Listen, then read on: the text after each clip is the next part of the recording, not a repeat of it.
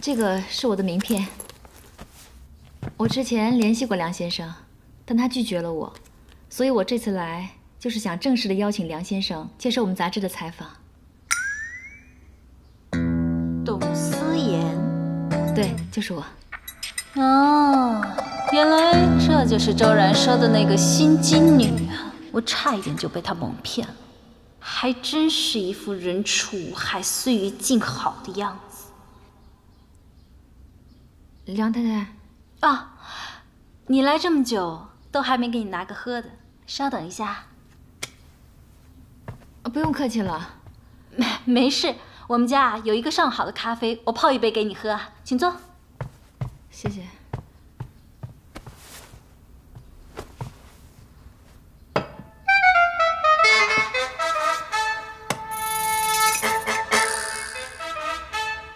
我呢，平时没什么朋友，我只有一个闺蜜，她叫周然。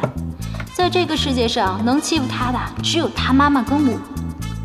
你让周然难过，就是让我难过。飞姐很生气，后果很严重。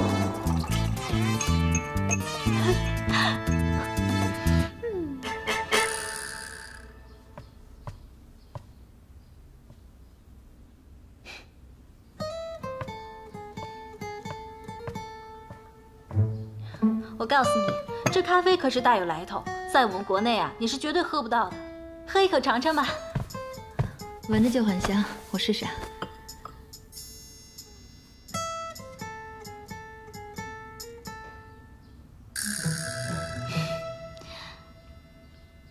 怎么样？味道是不是很不一样？是挺不一样的。你知道这咖啡来自哪里吗？它来自牙买加斯拉。牙买加斯拉，一看你就是不知道。牙买加斯拉是个很小、很偏僻的地方，当地呢盛产最优良的咖啡豆。虽然它盛产咖啡豆，但是粮食却是仰赖进口。换言之，就是粮食比咖啡豆还要贵。当地人呢喜欢养狗，但是又没办法喂它吃粮食，只好喂它吃咖啡豆。屎咖啡你听过吧？全世界的人都知道猫屎咖啡，但却不知道品质最好、最优良的咖啡，其实啊是来自于牙买加斯拉的狗屎咖啡。梁太太，你真的是见多识广。这狗屎咖啡啊，喝法跟一般咖啡是不一样的。你呢，如果喝到狗屎咖啡的精华，你得大口大口的喝。让这咖啡呢，充分的遍布在你的味蕾上，试试吧。就不用了吧？我刚刚还想说咱们投缘，但是现在你却拘谨起来。我告诉你啊，这咖啡是很贵的，不来尊贵的客人，我一般是不会泡。你这样，不是就浪费了一杯咖啡了吗？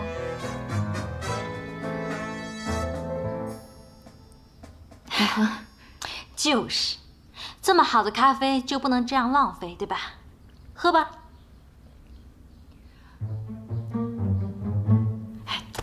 你别这么客气，喝吧，别客气。谢谢。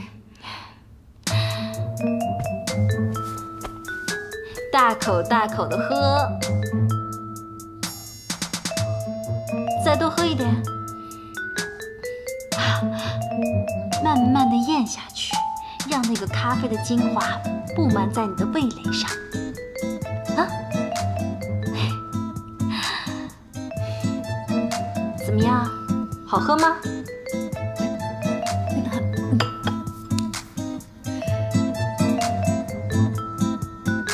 现在我们可以聊聊梁先生跟我们合作的事情了吗？可以，当然可以啊。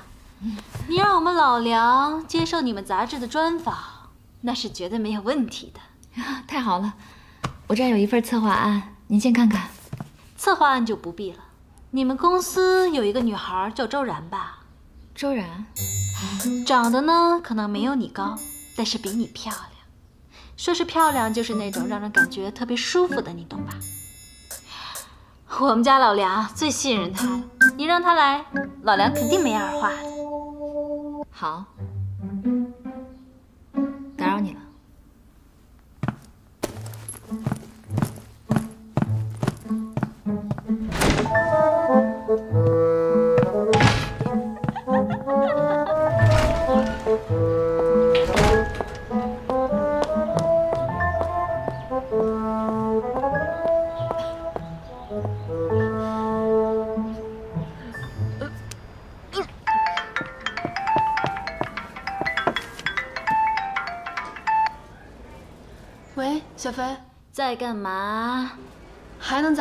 上班啊？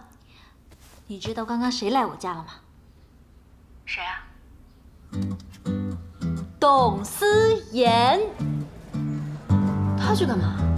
还能做什么？不就是来抢功的吗？我告诉你，刚才他是碰枪眼上，撞到我手，然后被我打了回去。我呀，还请他喝了一杯加料的咖啡。我告诉你，对付这种贱人呢，你就是要以牙还牙。以剑制剑。我呀，就帮你到这里了。你呢，千万不要再一味隐忍了，知道吗？行了，我知道了。哎，画家那边你帮我说说好话啊。放心，交给我吧。好吧，那我忙了啊。好，拜拜。拜拜。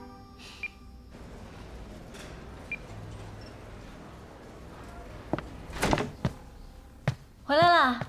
啊，你有听过 ERA 吗？没有，我不是说帮你接了个杂志专访吗哎？ERA 它现在是时尚最流行的杂志。我知道，我知道，但是我从来没有答应。你不要那么死脑筋，这对你来说是千载难逢的好机会。你做人要圆润一点，在这个行业才能做得长久。我没有想太多，我只是想做一个画家。哎，哎，你刚才有没有去过洗手间啊？啊，洗手间怎么了？堵了。堵了？怎么会？我不知道啊，我今天都没有去上过厕所，莫名其妙，怎么会堵了呢？好奇怪。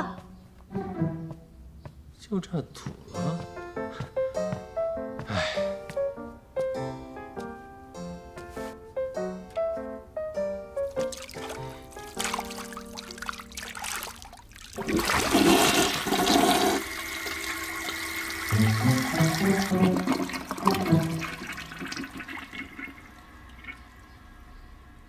这里面有五十万，麻烦你交给他。我不希望他在外面吃苦受罪。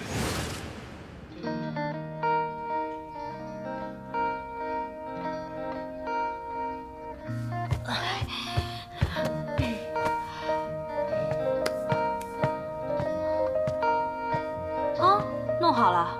弄好了。哦，知道是什么原因弄的吗？知道。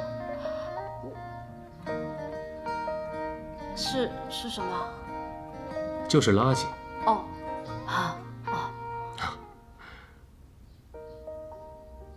哦，啊，你刚才说的是不是这个 ERA？哦，ERA，我现在蛮有兴趣的，可以再讲一次吗？真的吗？是。好，好，好，我跟你说，那个《ERA》杂志呢，是现在国内最知名、最时尚的杂志。我是想说，把你的画放到那个杂志上面，接受他们的专访之后，就会有很多人可以看到你的东西。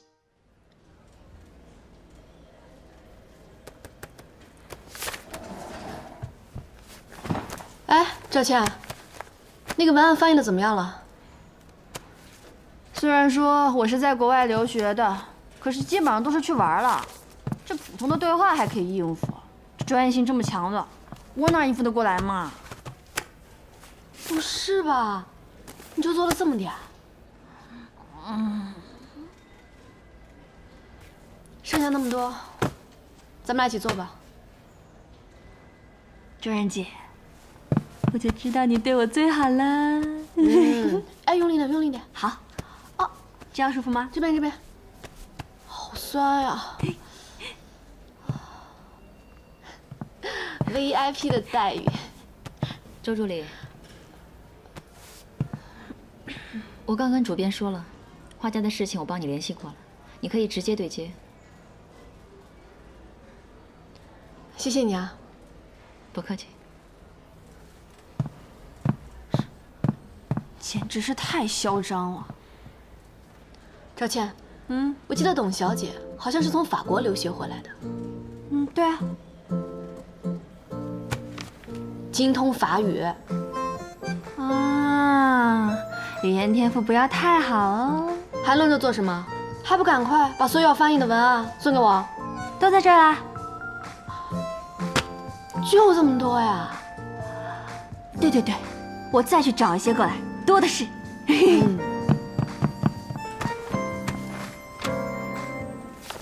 噔噔，进。董小姐，你之前说要帮我，不是只是说说而已吧？当然不是了。听说董小姐是法国留学回来的，精通法语和英语。我们部门有些文案需要翻译，能不能麻烦董小姐？没问题。真的吗？太感谢了。全全部吗？董小姐觉得多吗？嗯，那我去找主编，找一个专门的翻译。哦，没关系，反正我最近也比较闲。那谢谢董小姐了。只不过这些文案比较着急，明天能不能给我啊？没问题。谢谢董小姐。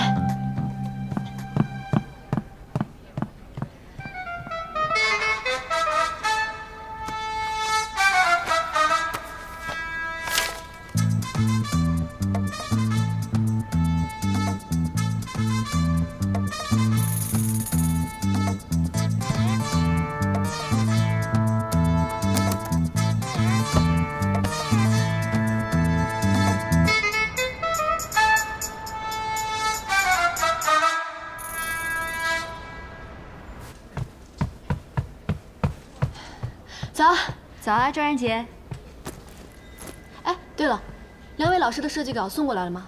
啊，我放你台上了。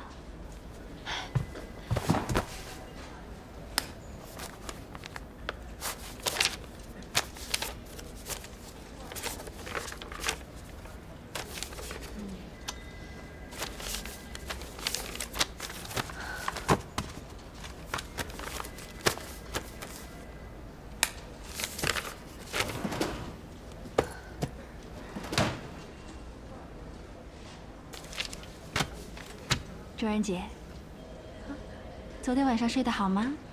当然好了。嗯，那有的人恐怕就睡得不好了吧？嘘周助理，文件都翻译好了。董小姐，辛苦了，一晚上没睡吧？我这里有咖啡，要不要给你提提神？不用了，我现在听到咖啡都想吐。哎，我的咖啡呢，可能不太一样，是来自牙买加斯拉的狗屎咖啡。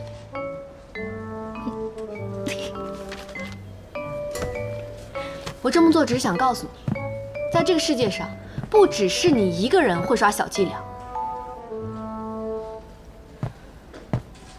我的咖啡呢？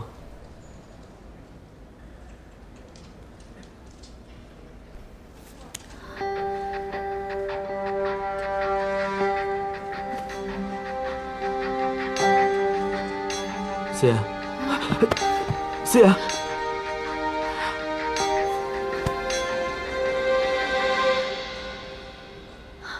我你明知道董思妍身体不好，干嘛给她安排那么多工作？你这是在兴师问罪吗？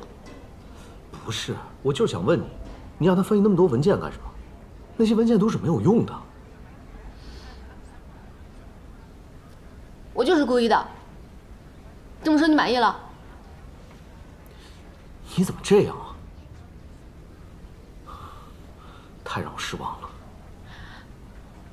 我做什么事情都会让你失望。我跟董思妍出现问题，你永远站在他那一边。因为她比你善良。他善良，我歹毒。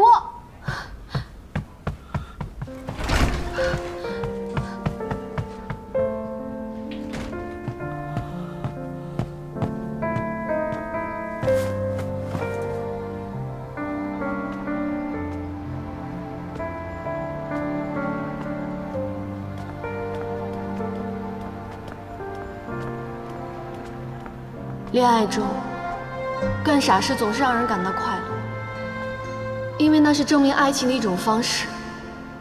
以前我觉得在爱情里不得善终是可怜的，今天我才发现，最可怜的其实是不被需要，因为你连不得善终的机会都没有。我一直以为我在他身边，因为他需要我。现在我才发现，是我一厢情愿的以为他需要我而已。我的爱情就像是冰淇淋，无论如何，他终究会融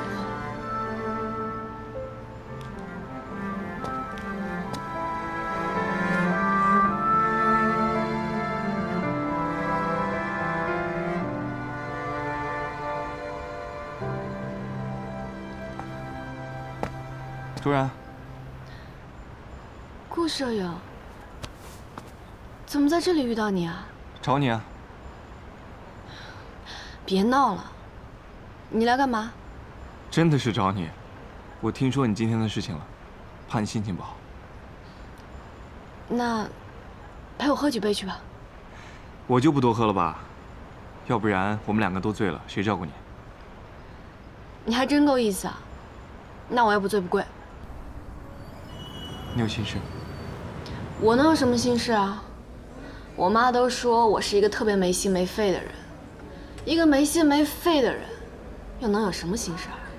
有的人呢，不是本来就没有心，是因为他把他的心留在了别人身上。我说，顾摄影，是不是搞艺术的人说话都这么肉麻呀？你就说一颗心吧。他不一定是放在别人身上了，也可能是自己弄丢了。你跟他表白了吗？我跟他表白有什么用啊？人家的风景里根本就没有我。他的景色里有没有你其实并不重要，重要的是你要相信你就是一道景色，没必要在别人的景色里仰视。但是有时候人就是很贪心。我就是希望他在我的景色里有一部分的空间，可笑吗？人之所以痛苦呢，是因为追求了错误的东西。你在别人景色里仰视的时候，说不定也有别人在你的景色里仰视呢。你不要在我喝醉的时候跟我讲这么多道理，我根本就记不住。反正我知道，我的景色里谁也没有。别人的景色里也没有我，是我，是我一直在你的景色里仰视，只要你回一回头就能看到我，可是你却从来没有回过头。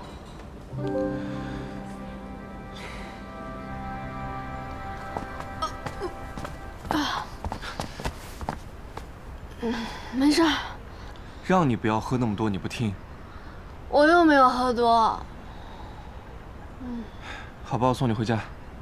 你回家好好洗个澡，休息一下。嗯，哦，回家。我想起来了，我给我妈买的感冒药忘在公司了。我带你回去拿药。对不起，顾摄影，总给你找麻烦。不要跟我说对不起，永远不要。嗯，走吧。嗯，没事，我没事，我没事。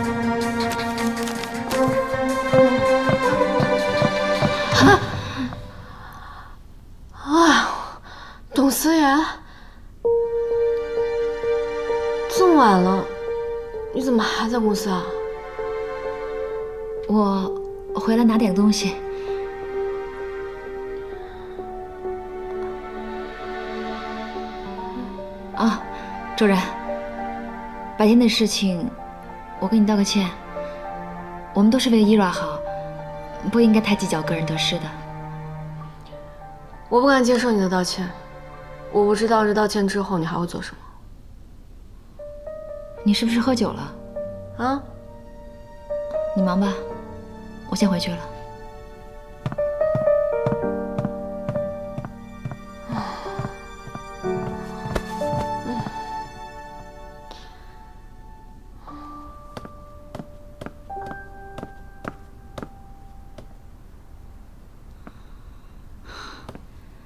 等周然呢？是啊。看来你们两个发展的还不错。这还得谢谢你。谢我？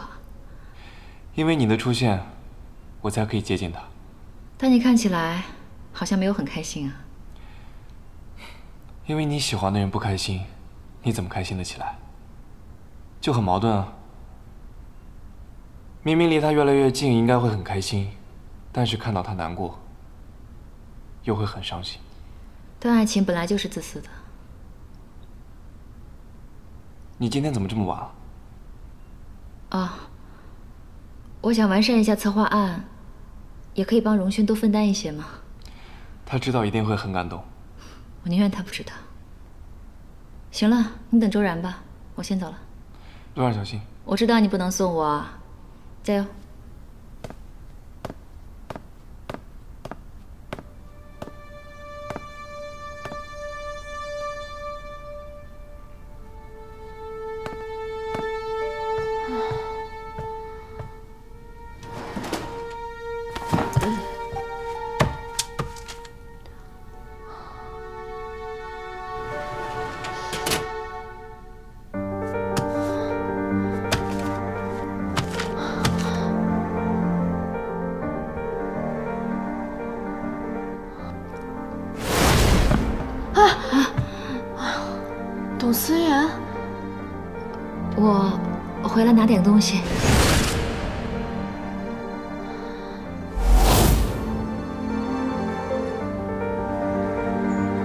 这怎么回事？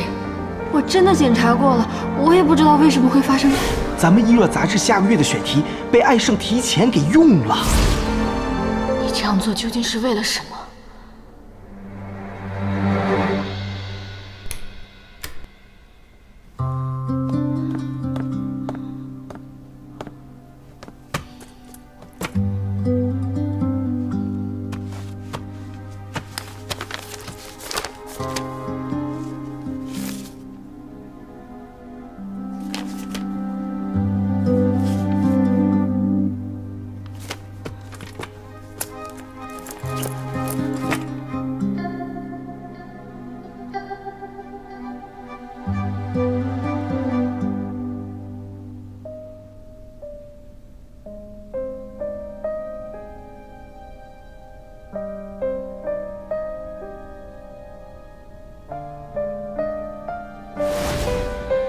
知道我们只是上下级的关系，不知道主编以为我们还有什么其他的关系。没有，就是想提醒你一下。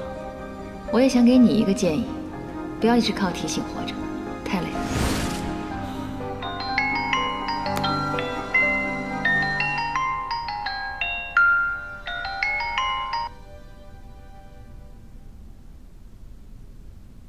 喂。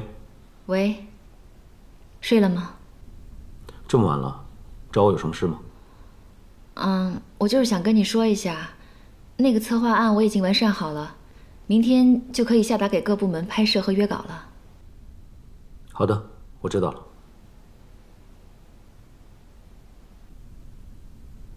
你你还有什么事吗？你呢？以后不要工作这么晚，一个人回家不安全的。喂，谢谢，谢谢你能这么说。嗯，上司关心下属是应该的。对了，我刚才在公司碰到周然了。周然？他在公司做什么？我也不知道，但是他好像喝了很多酒，对我态度也不是很好。周然这个人吧，虽然脾气不太好，但他内心是很善良的，所以我希望你不要跟他计较。你放心吧，我不会跟他计较的。我也希望之后能跟他好好相处。你能这么想就最好了。时间不早了，早点休息吧。晚安。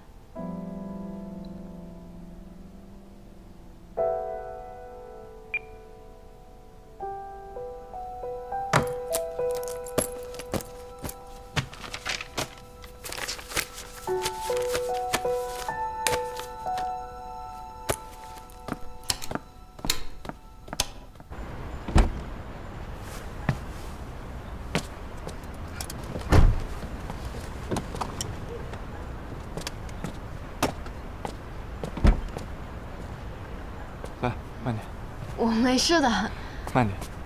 真的没事。你真的没事？嗯，那你早点回去休息啊。好吧，那你快点走吧。不行，我得扶你回去。啊，不用了，不用了，别吵到邻居，都休息了，快走吧，快走吧。真的没事？嗯，真的没事，没事。真的啊？嗯，拜拜。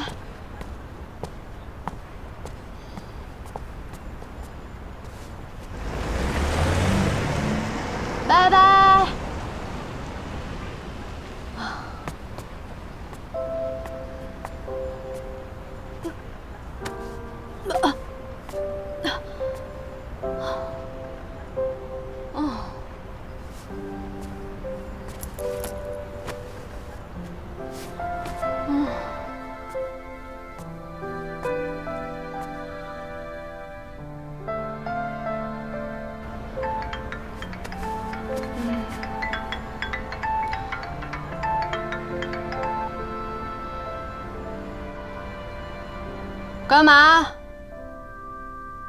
周助理，你作为一个女孩子，能不能矜持一点？我当然没有你的思妍矜持啦。我是在跟你说话，你能不能不要扯到思妍啊？你这么大声就不怕吵到邻居啊？怎么了？说到你心里了吧？你今晚喝了多少酒？要你管？我是想告诉你，一个女孩子喝那么多酒，在外面不安全。你怎么知道我喝酒了？是不是董思妍跟你说的？你能不能不要再无理取闹了？不要什么事儿都针对董思妍。我针对她？好，明天早上去公司，你就知道是谁针对谁。切，切，这男人是不是见到漂亮女人，脑子都不转的？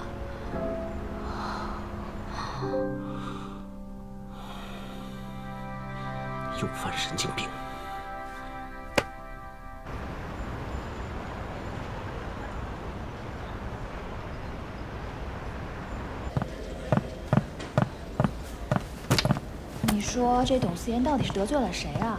房间里弄成这个样子，听说连监控也坏了。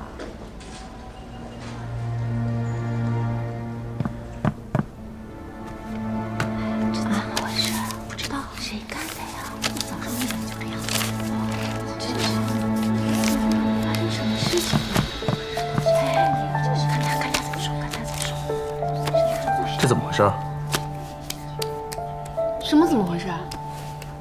周然，我知道你是对我有意见，但你有什么话可以直说，你为什么要这样？你什么意思啊？这几天我对你处处忍让，能避则避，不是因为我怕你，只是因为我不想让主编为难。没想到我的忍让，让你这样得寸进尺。他说谎，明明是他偷公司的设计方案被我看到了。啊，这怎么回事啊？他偷的？我现在怀疑，我们公司样刊泄露的事情也是他做的。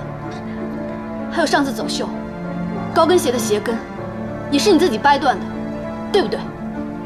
一定有着什么不可告人的秘密。你胡说！谁胡说谁自己心里明白。那你的意思是说，这些都是董思妍自己做的？对，这一切都是他自导自演，在这里博同情。那他为什么要这么做？因为他知道了我发现了他的阴谋，所以才做出这样的苦肉计。周然，我知道，你一直都觉得我是你跟主编之间的障碍，所以你才一直针对我。我听说，昨天你还因为我跟主编吵架了，是不是？所以才让你这样的恼羞成怒。我恼羞成怒？我犯得着吗？你到底闹够了没有？我嫉妒你啊，董思妍，你到底有没有偷这次画家的设计稿？现在打开我的抽屉，就什么都明白了。艾米，你去看他抽屉里面的设计稿。好的，主编。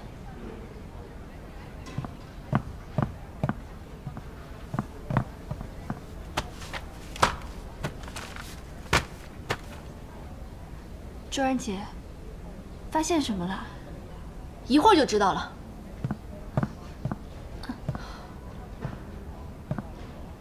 是这个吗？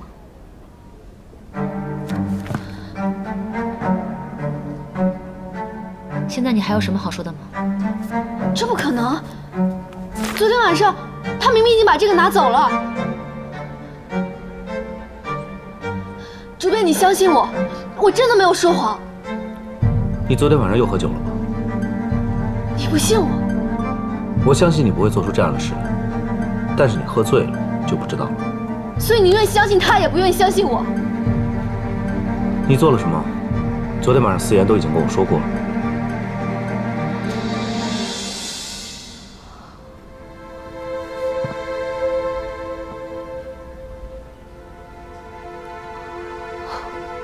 我明白了，你一直都在陷害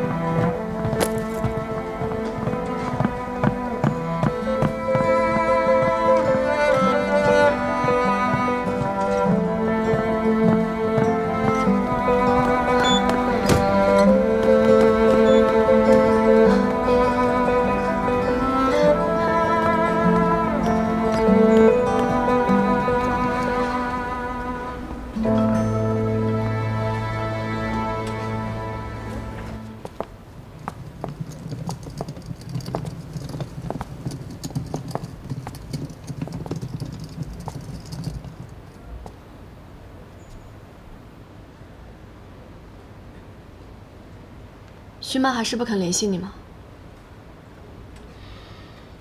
可能是我伤害她伤的太深了吧。那你现在打算怎么办？我打算做最后一次努力，争取她的原谅。但是在这之前，我想请你帮我一个忙。什么忙？我想请你帮我把这个交给许曼。这是什么？这是婚纱。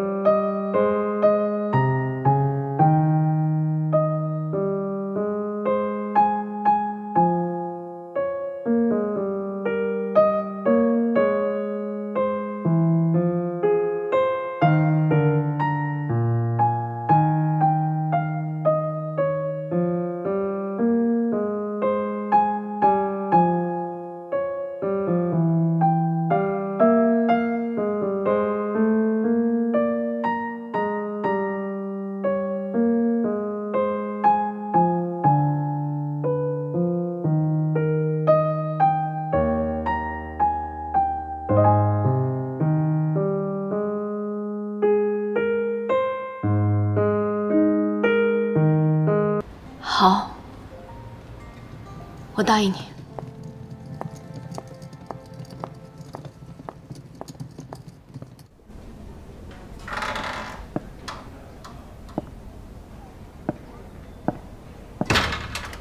董小姐有什么事吗？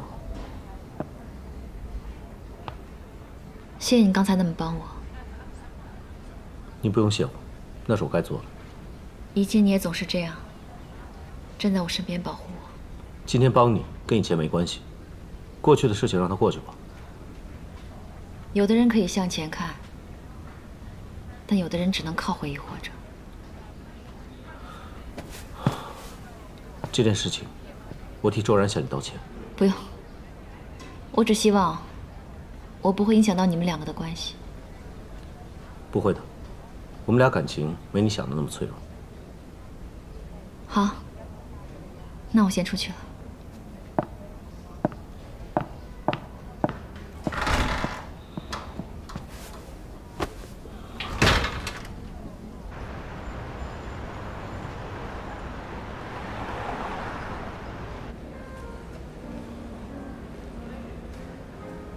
飞哥，你今天来是想跟我说什么吗？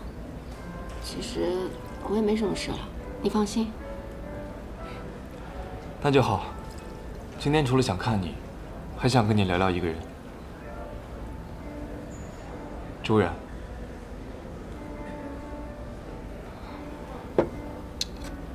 你也知道，我不想听到这个人的名字。我知道你们中间有误会，我今天过来就是想跟你澄清一些事情。云飞哥，我怕你是被表象给蒙蔽了。了解一个人，真的太难太难了。我知道了解一个人很困难，但是如果这个世界上，如果有那么一个人比周然还了解他自己，那个人会是我。还记得我之前跟你说过的话吗？那你了解他吗？我们很聊得来。是他跟你聊得来，还是你跟他聊得来？这有什么不同吗？当然不同了。有的人呢，跟谁都可以聊得来，这种聊得来叫哄骗，因为你只知道他暴露在你面前的那一部分，隐藏的部分你看不见。那怎么才能知道隐藏的那一部分？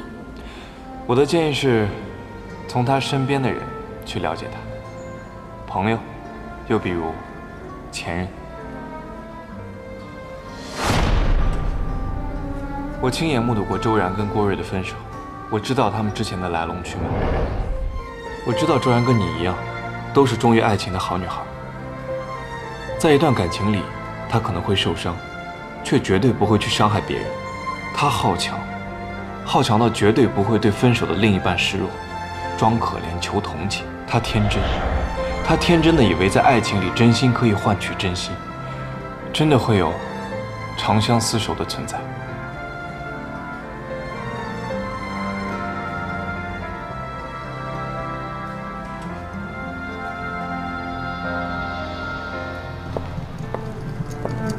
郭瑞的请求让我感到有点难过，因为我要把我曾经梦寐以求的东西拱手交给徐楠，心里难免会有一丝酸楚。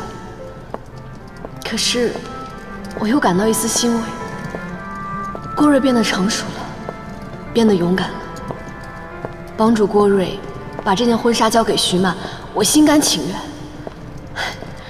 可我自己的爱情已经在风雨飘摇。而现在我却要帮自己的前男友追回他的现女友，人生真的太讽刺了。不，既然郭瑞能够变得勇敢，我也应该勇敢的去找主编解释清楚。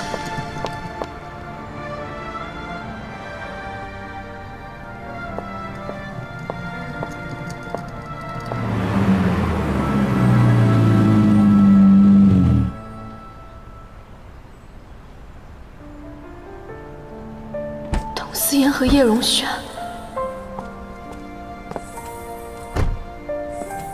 在这等我一下，我去帮你拿资料。